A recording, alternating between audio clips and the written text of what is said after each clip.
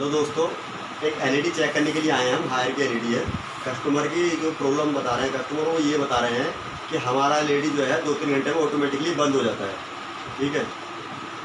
हमें इसे चेक करना आऊँगा देखता हूँ उसमें सेटिंग में तो कोई प्रॉब्लम नहीं है। तो होगा क्या? सबसे पहले हम जाएँगे इस पर। सबसे ऊपर जाएँगे फ़र्स्ट में इनपुट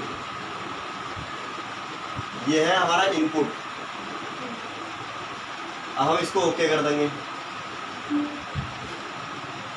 अब हम जाएँगे इसमें कोई से भी ऑप्शन पे जा सकते हैं। L D M I one या टू या थ्री चलने को चलने को करके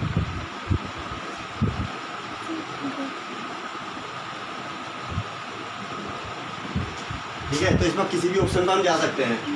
तो हम जाएँगे L D M I one में। वन को ओके करेंगे हम। ओके कर दिया। अब ये सिग्नल नहीं आ रहे हैं। क्योंकि उसका थ्री किल लगी हुई है तो कॉम्बो साइड पर अगर हम ओके करते हैं तो सेटअप बॉक्स चल जाता। अब जैसे एच डी वाई पर हमने ओके कर दिया तो हम जाएँगे रिमोट का जो मेन्यू बटन होता है ना, उसको प्रेस करेंगे हम। ये है मेन्यू इसका रिमोट का। इसको दबाएँगे हम। ये आ गए ऑप्शन खुल करके। ठीक है तो इसमें जाएँगे हम एडवांस ऑप्शन में। ये आ गया एडवांस ऑप्शन अब इसको ओके करेंगे। ये आ गया।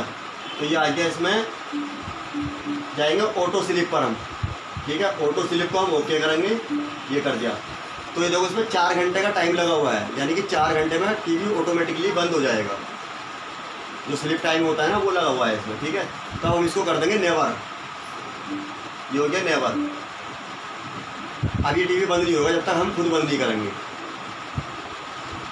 बस इसमें इतनी सी ही प्रॉब्लम थी।